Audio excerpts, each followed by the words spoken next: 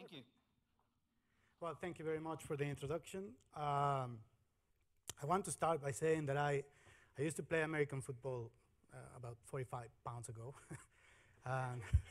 20 kilos, there you go. But nobody would understand metric systems, right? And, um, and what I hear since I was a kid is that uh, you are as good as your last snap or as good as the, the, the, man standing next to you. And what I'm bringing this story to you is not that I want to evangelize American football, uh, uh, but it's just about what the, the role of an expert is in an organization, and also what the role of metrics are in an organization. I, and I hope that, that, this talk will, will uh, dig into the value that metrics have, have brought to, uh, to the team that I work with. Um, none, none of the things that I will say will have any, any impact on you if I don't put a little bit of context. So uh, ING is one of the largest banks in Europe. We try to bring digital experiences to our clients. And in my particular case, I work uh, doing algorithms and trying to make sense of, of certain problems, reducing complexity. Um, and, and, part of the talk, it's going to be um, uh, just going through, through this path of our learnings and, and how we sort of complement our expertise with, with metrics.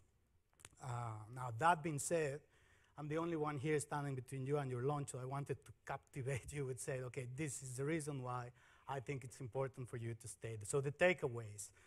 For us to, to come to a metric, that there is a huge hype of, of uh, us being a data-driven organization or, or backing up our decision. Uh, right now, we are sort of fundamental, uh, fundamentally thinking about engineer, decision engineering, or, or meaning how can we come across with, with uh, information that, that is backed up by a data point. Um, so we have this, this idea of, of going crazy with metrics. Uh, by that, uh, what we have also is, uh, well, coined certain terms that have been used in the IT industry for a long time, uh, including the mean time to resolution, uh, we uh, also in this journey of finding things and bringing expertise and metrics all together, uh, we, we find a lot of stuff that were outside of the domain that we were working. Uh, one of those examples is uh, through the, the, the, collection of a huge amount of metrics, we saw that uh, process queue lengths were really high, and that means that our VMware guys in another building were actually overbooking our appliances. So again, to bring some context to the organization, our, the systems that we run in, in mortgages, in the mortgages department, uh, is, is um, mainly workflow management system, uh, document management systems. So if you think about the, the, acquisition of a house or the journey of, of, acquiring a house or living in a new place, it's a very data-intensive process. You need to give uh, salary specifications, you give to uh, your, your uh, marital status. So there is a lot of interchange of data, and we now have a combined source of uh, system metrics and business metrics um, but we still, to some degree, work in this large IT landscape where uh, it's difficult to steer a big boat. and we still uh, uh, collaborate with other teams that, uh, for instance, uh, provide us these uh, our appliances. We work in a hybrid environment where part of our infrastructure runs on bare metal, part of our infrastructure runs in our internal private cloud. So therefore, we still need to have liaisons with other, other teams.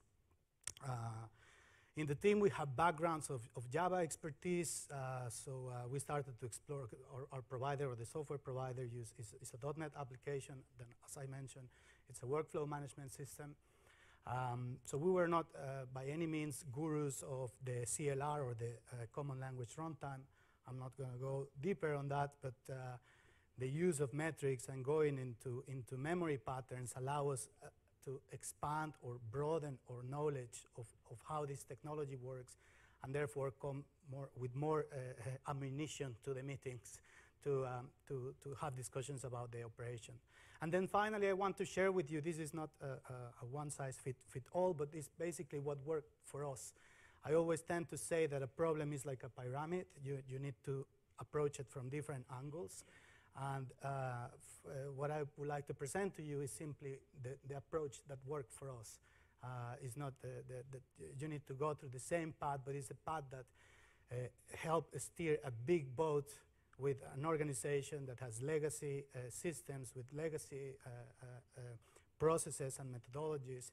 Um, and for that, I would like to know who's, who's, who's working solo in implementing influx? Can you please raise your hands?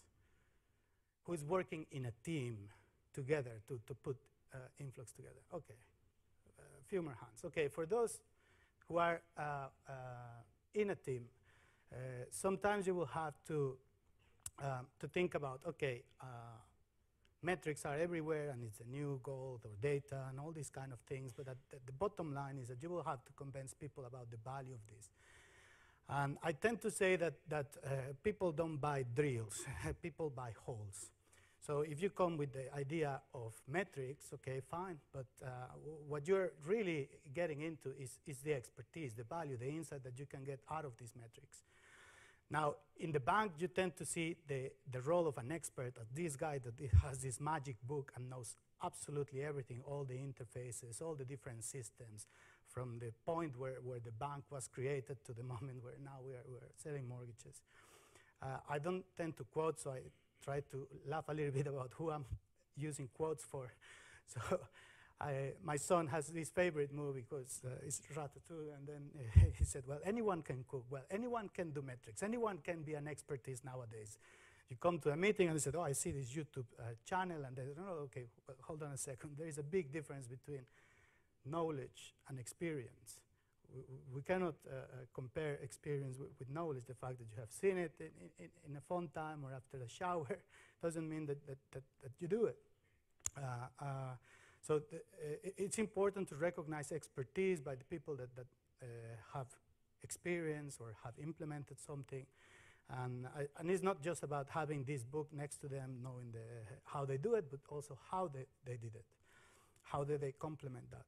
Uh, and the other part of experts, uh, I would say, is apart from being having the patience to, to motivate people to um, implement something by doing it, it's also open enough to, uh, to adopt new stuff or to learn from the people that are coming and bringing new technologies. Now, uh, an expert without metrics wouldn't be an expert. I wanted to show an image that looks some modern, agile uh, approach of what metrics are. Um, uh, so, so, as I said, we have a team of, of experts, but, but uh, we wanted to empower people within the team with something that will help them to develop that expertise in the doing and by that, I, I also, uh, uh, one of the ways that we see it is that uh, these type of experts are, are, are now fading out and, and, and, a new type of expert is coming through. And what I believe is that uh, expert will, will not be replaced by, by metrics or by machine learning or the way that, that, uh, that uh, is being coined now in the industry, but, but, but I think that experts who don't use metrics or machine learning will be replaced. So I think the use needs to converge at some point and understand that it's a complementary activity, one between the other. So now I would like to dive into the argument. So what, what was the argument in a particular use case? So uh, as I said, it's a big boat, it's difficult to steer, we need to make smaller steps to uh, convey our message of why we need to, to collect metrics and, and, and go uh, deep into this expertise metrics approach. The first one was granularity. And I want to uh, uh, uh, remember one was, what was one of our first challenges to, to bring granularity. We have an old legacy systems uh, system that was collecting certain metrics, system metrics, so we didn't have a correlation between business metrics. Uh, to give you more context on it, we uh, sell about 1,000 mortgage applications a week when it's happy days and champagne goes into the show, then it's uh, about 2,000. We work in a, in a, there is something called the Hypo, uh, uh, or Mortgage Data Network that splits all the, the, the, the market share on mortgages in the Netherlands. Um, and therefore, we, we always looked into, okay, how can we increase our market share by providing a better service or lowering the time for you to acquire a house. Uh, and for that, we run a lot of performance testing when this hype of when we lower the rates, we get a, a hype of, of, mortgage applications coming in. So it's very important that we maintain uh, uh, our response times and, and we don't get our, our, customer loyalty members or CLT, the people that are in the phone handling the mortgage application process, uh, coming back to us to say, guys, the system is just not moving. Can you please do something? Well, normal IT operations. Um, so for, for us to run performance testing or to, to be able to reproduce um, uh, realistic scenarios, it was also to get the gra granularity in the metrics that we were obtaining from, from all our systems. Uh, in our legacy systems, just to run a query from three months or one year will take uh, seconds, and, and, it was annoying, let's just put it that way. It, was a big plus for us to, to see that adopting Influx will help us to reduce that time to, to, to gather or to extract that data. So a big plus on, on that part. Um, we had Telegraf, uh, again, it's, it's, it's, not trying to uh, expose all our challenges, but part of it is that we had to go through a whitelisting process for the technology. So Telegraf had to pass through our security teams to go and said, can we use this in our production environments? Can, can we use this agent? And it's because it's a lightweight agent, it's all composed, it doesn't have hundreds of configurations, it's just one file. Also simplify the process just for us to use this metric shipper. So another uh, element that helped us to, to, to quickly jump into, into the metric boat was to have this, this uh, uh, simplistic use of the technology. Uh, fast uh, aggregation queries. So uh, with, in our previous platform, and again, it's not making a fire from the fallen tree, but it, it, was just simply impossible. As soon as you started uh, seeing the cardinality and the different series that we wanted to collect, he was just trying to, to imagine that I'm trying to say, guys, there is a movie over there. Tell me who the actors are in this movie, and then just looking at two pixels. And, and that's pretty much what, what we were trying to, or what we were facing. Uh, it was very hard for us to say where, or to pinpoint where the problem areas were in, in our systems because we didn't have any visibility. And we didn't have any visibility because we couldn't extract the data. And when we wanted to extract the data, it was taking ages. So a big plus uh, on, on, that area, and, and, that also helped us to, um, to convey why, why we needed this. Exploration and dashboards, I, I, think during the course of the day you have seen, uh, well, the, the, the, abilities that, that we have to explore data, to, to very quickly create representations of that data, whether are graphical or, or, or uh, statistical information about them. Uh, uh, there is an education process on this part about uh, which, which aggregations are meaningful. I spend a lot of time just to say, guys, don't look into the means, go to the percentiles, especially when you looked into, into response times. It, it's important to see what is the, the, the the, for the majority of the users, the response times that, that uh, you will get as opposed to a very skewed view of it like the mean or make use of other, uh, other aggregation elements or statistical tools that allow you to see the variance or, or the range of, of, of, change that the, the certain metric is, is, is, is uh, uh, being uh, modified with. Uh, of course, we have alerts. One uh, big plus is that we have an alerting mechanism. We have a master control room it's a little bit of old-fashioned alerts go to a centralized place. That place is the one who controls who gets notified. There is different roles. There is a hierarchy of, uh, or hierarchy of, of, of, of, people that gets notified according to the, the severity um, of, of, of the elements. So a plus one for Kapacitor. It was a minus one for Kapacitor. Sorry, Tim. for unlearning on learning uh, the, the TICK stack. It, I mean, when you get people on board and excited about it, then a couple of uh, months later, it's like, guys, it's gone. Didn't uh, went very well, so go quickly on that. Um, an IT strategy, I think this was a very fundamental part for us to, to jump in. And uh, I use the bracket uh, uh, notation, but it's, it's, just more about, I'll put an analogy, which is robbing the bank, right? It doesn't matter if you get into the vault, at the end of the day, you also need to get out. And for us, it was the same with the data. You can get data in. We have our internal private cloud, so it was very important that whatever decision, technology decision we made, there has to be an entry strategy and an exit strategy. We have that with Influx. They don't lock you down, and that means uh, very uh, uh, much flexibility that we are, uh, or we were searching for. Uh, there is uh, a, a, team that is exploring the ability for us to run containerized services in the bank uh, for the security and for the risk profile of, of containers. I think in, in our particular use case hasn't landed in the, in the safe area. However, we could use containers to run our InfluxDB. It has given us a lot of advantages. It also gives us a lot of pain. But, um, but it was also a plus in the evaluation. The fact that there is an open source version uh, helped us also to convey the message of why we needed to use this. It was very easy. Uh, and again, all of these things, more than palms on the back, is more to say, well, if you are about to, to talk to your, to your peers, to your colleagues about uh, embracing metrics or talking about metrics in your organization and the value, all of these things at some point will have to, to come down or converge into what, what value means. Uh, and finally, it was fun. I think when, when you work for a bank for more than 20 years and you are using different things, and somebody come up and said, guys, let's try to do something a little bit uh, fun, or because if you say different or change, it's uh, a little bit of, of who are you, where, where do you live? uh, it, it, was fun, to be honest, just to, to jump in into something different, to, to see a one single integrated stack solution that can eat all you can eat metrics, and then suddenly you have an exploration and a dashboard. So for us, it, it might seem uh, outdated, but again, I think the, the Cinderella story behind it is uh, I, I, don't think implementing technology is real a challenge anymore, or, or I don't think that, that uh, uh, yeah, the embracing of a new technology or a process is a challenging thing anymore. But trying to change the way that people work is a real challenge. it's like changing habits.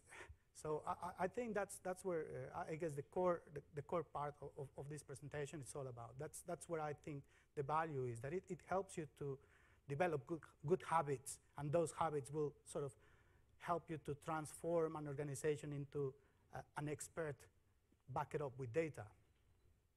Now, uh, I wanted to do a quiz time. It might, it might sound a little bit ridiculous, but it was more to say, okay, this is the way that we as an organization started to find out that we were becoming a little bit more metrics-based than expert-based. When we started to lose the names and the corporate IDs or email addresses of the people, and we started to talk about cardinality. Or, uh, so we said, okay, does cardinality mean to you like a map or more the number of items per index that you have or how many tags your, your series have? Another way to find out if your team is more metrics or expert-based is to talk about hot winters. I was talking with my partner and said, hot winters? How, how global warming is influencing your... No, no, no, hot winter. It's my pronunciation, my Latin uh, probably uh, way of, of, of, expressing it. But uh, suddenly people that never had any, let's say, statistical background or, or working with ARIMA models started to, to say, you know, we started to see these patterns uh, and, and, and we see, we started using ARIMA models. I, am not going into the statistical part, which is I can talk the rest of the day for it. But, uh, but it was more about the, the, the, the elements or the stati statistical foundation that will help us to make decisions as well. And forecasting.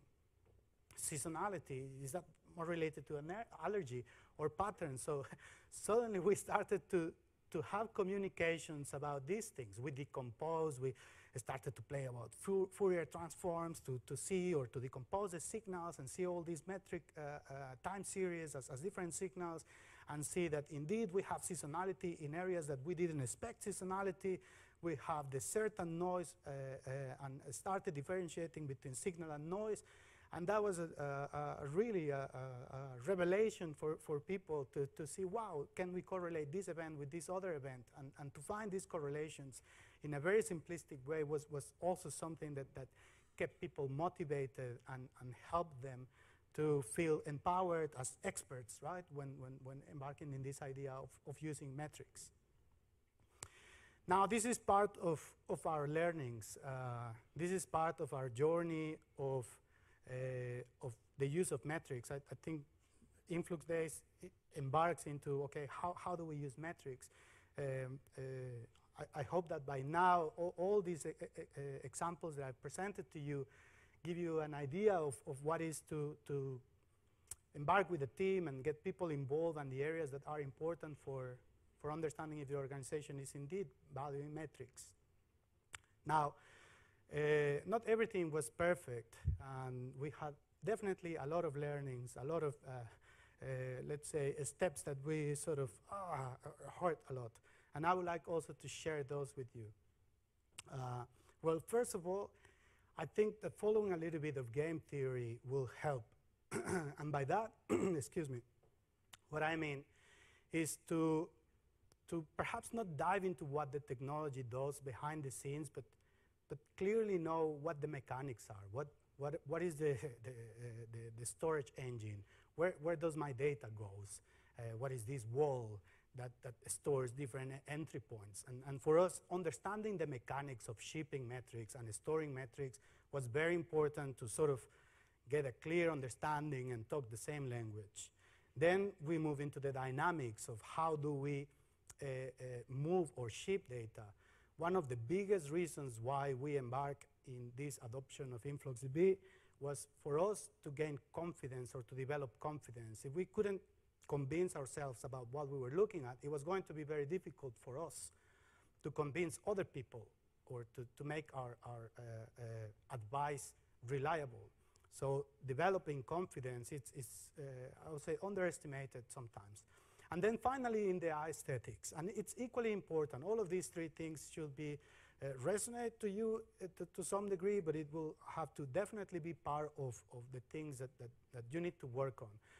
Um, something that is not appealing to the eye will not attract anybody to, to look at, and then nobody will, will uh, pay attention to, to your dashboard. So think about how, how do I make it easy for people to interpret, and how do I make this um, dashboard appealing to the eye so that, that people can or would like to, to consume it. Uh, as I said, one of the biggest advantages for us was to operate with containers. Somehow we were not the people orchestrating or managing all the, the platform level of, of our, our container solution. Uh, but we, we, we lost data uh, due to the fact that we're stored in logical volumes, they were fed up, so we have to store, uh, stop an instance of InfluxDB, start another instance, back it up, and it was a little bit of a mess. Uh, I have to say, uh, one of the reasons I said we are a metrics base is that I've never got a call at 7 a.m. in the morning to say, well, you know, something is, is going wrong, or uh, uh, kind of operations to some degree. Are, we don't have any uh, uh, more prior, priority one issues. but I did got a call in the morning to say, Herminio, something is happening. And I was like, okay, something bad, because I'm from Mexico, the, the Mexicans are the, the, guilty ones, right? So what is going on with the metrics? As uh, we are losing data, we are losing data. where, the mortgages? No, our influx is down. And it's like, oh, what, what happened? The containers are fed up. Well, it cost us a lot just to revert and do all these kind of things because we were in a sort of uh, glorified POC that suddenly become our real production environment. So if, if you have containers or if you have your data, keep it safe, put it in a place where you can back it up and restore it. That was a big learning for us, and I, it might sound like a no-brainer, but sometimes when you try to do things quick, you, you tend to overlook into, into these things. Uh, again, once we were in the ride and we were like champs, we have a lot of data, all you can eat. Oh, we started to uh, create this overwhelming uh, amount of, of, of, metrics collected from absolutely everything. Uh, we started to experience some slowdown after the first, uh, first 12 months, and that's because we said, okay, Infinity, yeah, we like the Infinity logo in our time series, why we will put retention policies. So it will slow you down. I, I, think in our case, it did slow us down because we started, as I mentioned, to combine system metrics, business metrics. We started to put observability into logs, and, and we said, okay, if we can do one, we can do 10. Well, uh, we, we, uh, we saw the value of just clicking a place and then uh, establish a, a, retention policy and then just move data in sort of sinks that move uh, uh, our data across. One thing that I remember very clearly is like to say um, uh, one of our main stakeholders is, is, is StepUp. We have these 15-inch uh, uh, monitors and, and, you can interact with them and, and, you can see all the different metrics that we are collecting and starting staring at them and, and said, but can, can you explain me if the red is good or if the high is good? Or people will, will create their own interpretations about their graphs it's not you, uh, I mean, when, when, you expect somebody to understand or have the same level of understanding of what you're looking at, it's, it's, they are going to create their own interpretation. Therefore, I will say don't make assumptions. Create annotations. Help people to, uh, uh, let's say, lower the barrier entry for in, in the interpretation of your graphs. And that is something important. I think in one of the latest uh, versions, you can now create annotations and put the specific events that describe the phenomenon that you are looking into your graphs. And I think that is something uh, very important that, that, that you need to consider, especially in that aesthetics parts of your metric journey. And I wanted just to, to say, okay, uh, all of these things is what have uh, brought us from point A to B. We would like to be more ambitious in our, in our uh, journey with, with metrics. Uh, one of the things that we realize is that, well, we have to learn Flux. Uh, we are starting uh, again with, with, our, with our learning process, understanding the different syntax, the, the, the playing around with it. We see a lot of uh, opportunities for the team to also get excited about learning Flux. I hope that the momentum keeps there. Uh, in, in the other hand, we are trying also to use uh, more advanced learning mechanisms. We are doing a lot of the composition and analysis uh, we got so excited that uh, one of the, uh, in the time that we, we lost data, we started to think about should we make a contribution to, to the community? And that was for me a revealing time for like, oh, these guys want to make a contribution. I mean, they didn't want to change a monitoring tool, and now we were thinking about writing an imputer uh, a, a plugin so that uh, when you lose data, you can use a k-means algorithm to tell you what kind of uh, uh, values were the same ones on the last, uh, let's say, three seasons or four seasons. So that was very important, but, but we will, will not, not stop there. As I said, we, we are after the whole, not the drill. So metrics is the drill, but we would like to, to show all the value and the insight that metrics can give to an organization. So long short-term memory and networks is, is, is one of the vehicles that we are seeing, especially for treating our business uh, KPIs, our business metrics or advanced learning. Uh, the other thing that uh, it was also like a fun uh, exercise is that uh, dashboard on a scale. So uh, as I said, we have these massive screens and you need to keep scrolling and uh, not all the people, so, so we have kind of created segregated areas of our dashboard so people looked into specific areas and the experts or the database are on that side, the applications is on the other side and, and we see that, that uh, it, it's becoming more a convoluted environment with graphs. People are, tend to get lost. And the other thing is, uh, we see that the consumers of, that, of those graphs are not only technical-oriented people. What that means is that uh, we would like or lower also the, the entry barrier to consume this data. And one of the ideas is that we have connected uh, uh, our, our um, uh, influx, or in this case, our Chronograf, with uh, Mattermost, with a local instance of Mattermost. So what we can do is that we have somebody now looking at the dashboards instead of us. And, and what we get is something like, oh, you know, uh, and in this natural language, like last week this looked like this, uh, you should have a look. And it's just a glorified alert, right? But it's just simply a very lower, lower entry of how that information is consumed by other audiences or, or more business-oriented audiences, which are now part of the consumers of the dashboards that we create. So our next steps is to, um, we call it ICE because it's cool. and uh, so the chatbot ICE is, is going to be one of the solutions that we put in order to consume more, more information of the dashboards. And one thing for sure is, is that he will not miss a single data point. That is the beautiful uh, thing about it. Um, and I think it, it will be very selfish to cross the Atlantic uh, to talk about all the things that, that we do on that side or the other side of the world without uh, acknowledging the, the people that actually made this happen, this presentation happen.